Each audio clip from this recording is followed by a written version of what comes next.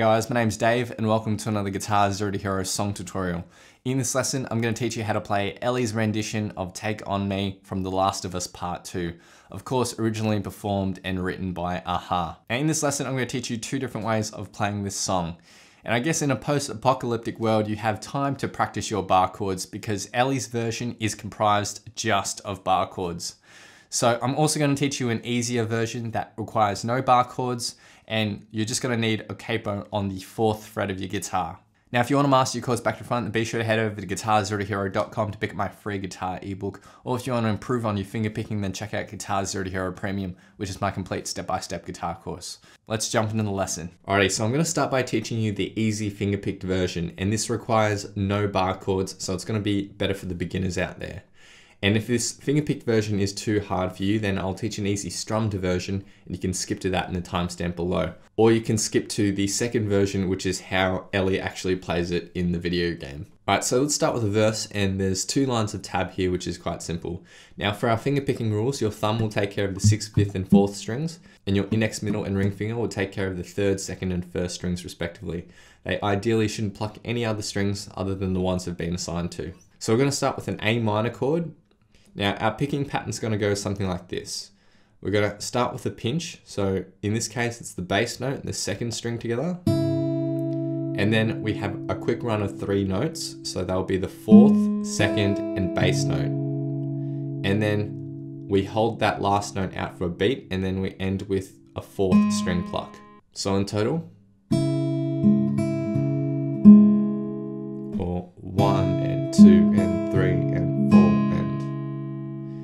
Next, we're going to go to a D slash F sharp. So you can play that like this. So index and middle on the second frets of the sixth and third string, and then ring finger on the third fret of the second string. Now our picking pattern's going to be very similar in terms of timing, but we're just going to be plucking some different notes here. So the sixth and third together, and then the three note run is fourth, second, and bass, and then we end on the fourth string again. So the second bar,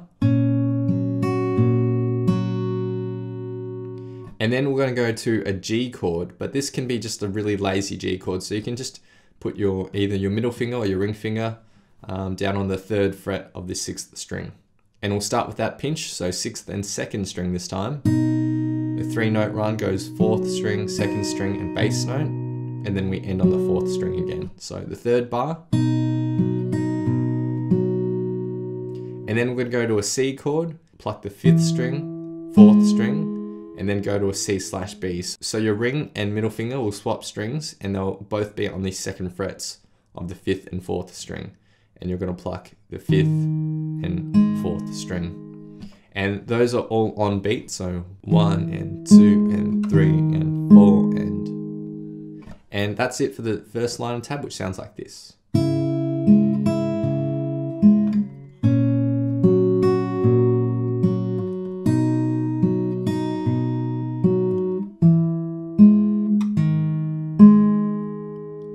We get to the second line of the verse, and the first two bars are identical to the first line of tab.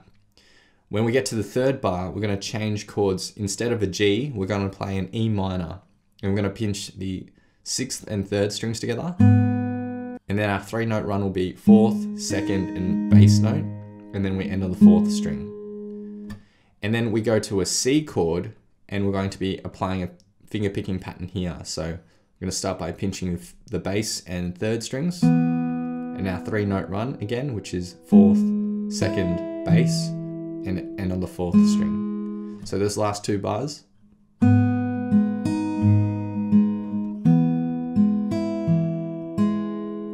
And all together for the verse.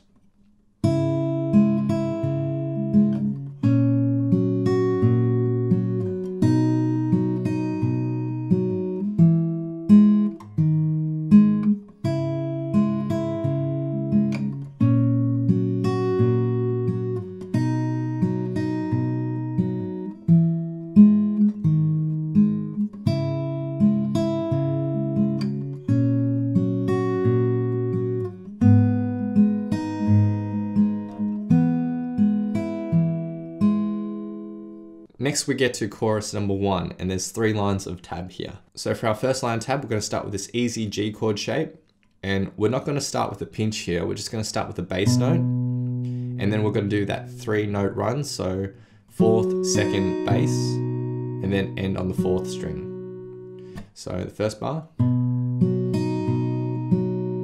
Then we're gonna go to a D chord. Now the rhythm for the finger picking pattern is the same, but we're gonna be plucking some particular strings here. So fourth and third strings together.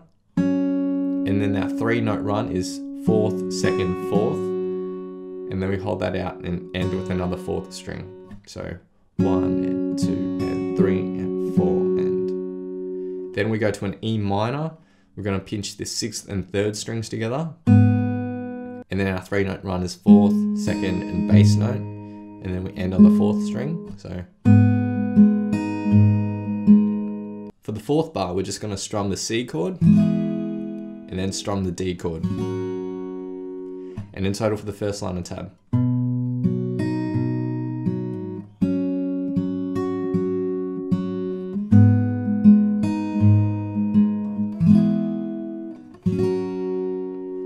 That gets repeated through twice.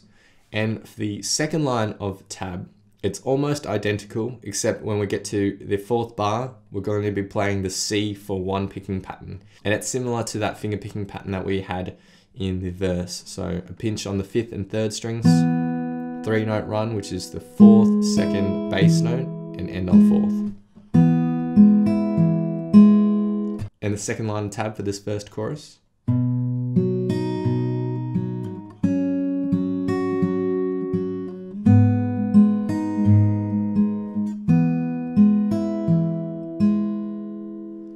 And the third line in tab is almost identical except for that final C. We're just gonna strum it and hold it out. So altogether for chorus one.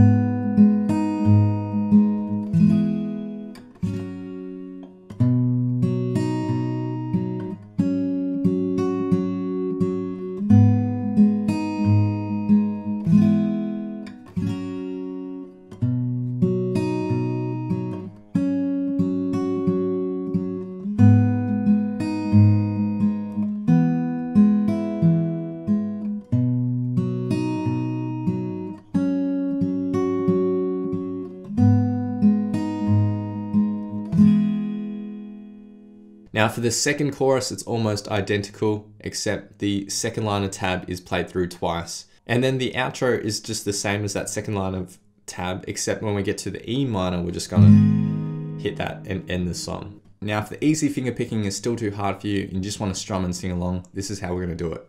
For the verse, there's two lines of chords. So we have A minor, D, G, and then C, and C slash B.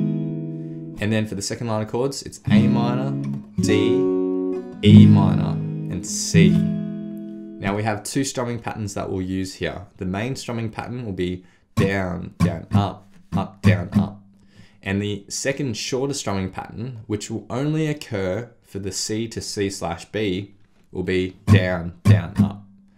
So in total, the verse will sound like this.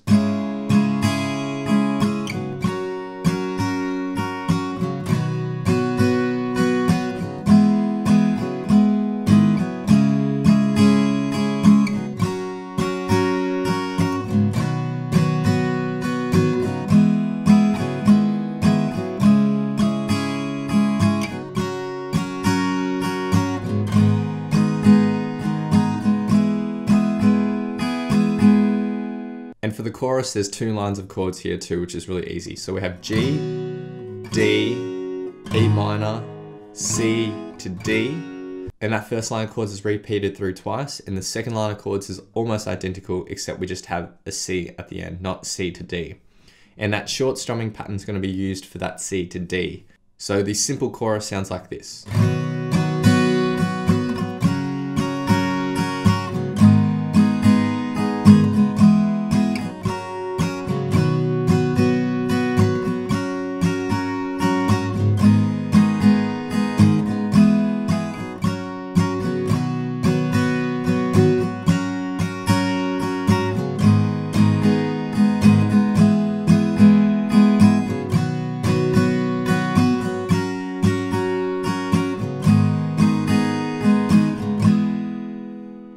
Now let's learn how Ellie actually plays it in the video game. So let's start with a verse and there's two lines of tab here. We're gonna start with a C sharp minor bar chord like this. We're gonna start by pinching the bass and second strings together, holding that out, and we have that three note run, which is fourth, second, and bass note. Hold that out, and then we hit the fourth string by itself. So.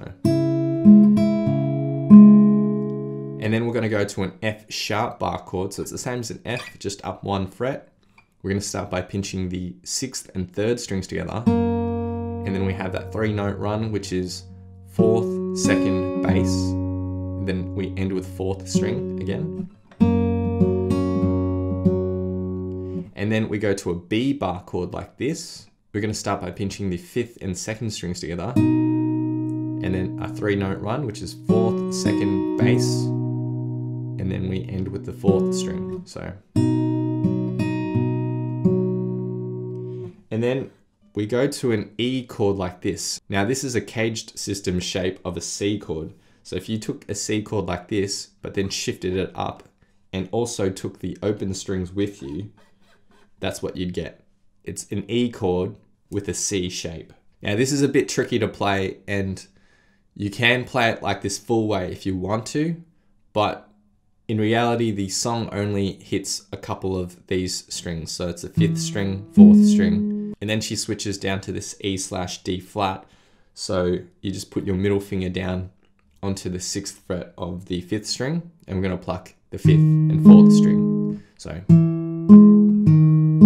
so you can fret this whole shape, and I would suggest that you try to do it if you can, because it's good practice, but you don't necessarily have to if you just want to hit those two notes. And the first line tab in total.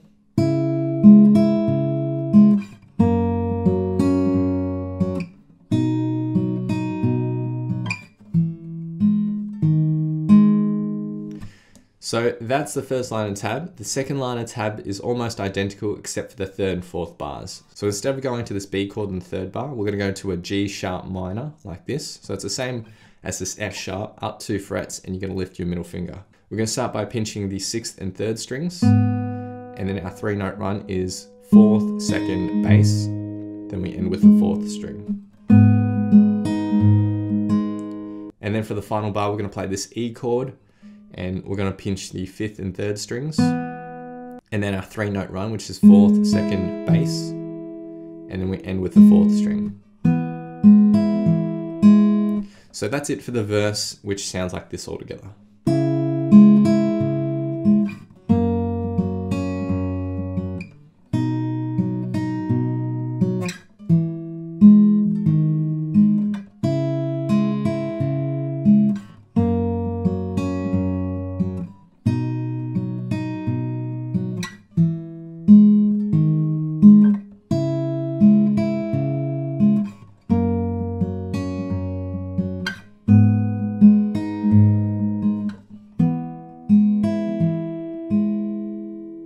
Next we get to the first chorus and we're going to start with the B chord and we're not going to start with the pinch here. We're going to start with the bass note by itself. Our three note run is fourth, second, bass and then we have the fourth string by itself. So the first bar and then we go to our F sharp bar chord and this is going to be the same as the verse. Then we go up to G sharp minor, and this is going to be the same way we played it in the verse. And then we go up to this E chord, we're going to strum that, and then shift it up two frets, the exact same shape, and strum those middle four strings as well. So that's the first line of tab, which sounds like this.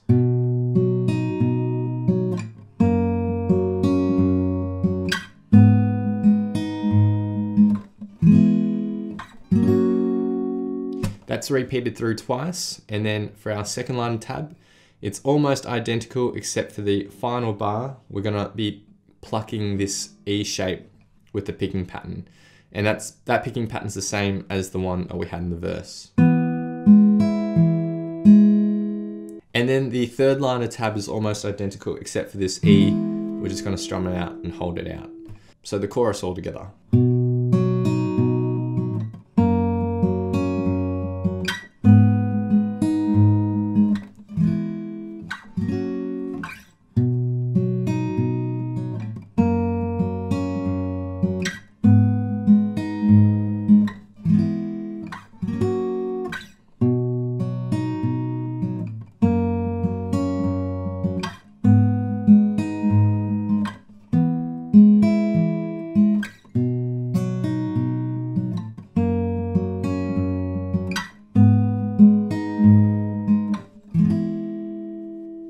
So now I'll be doing two playthroughs of the song. The first playthrough will be the easier version, and then the second playthrough will be the no capo version, or Ellie's version from the video game. Feel free to play these back as many times as you'd like to, to practice, play along to, and see how you go.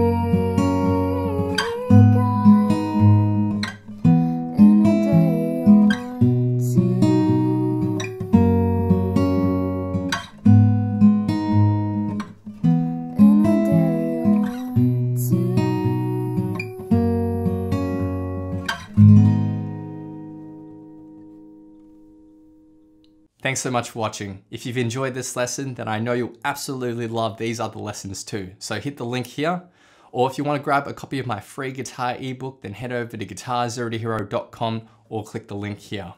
Thanks so much, and I'll see you guys next time on Guitar Zero to Hero. Cheers.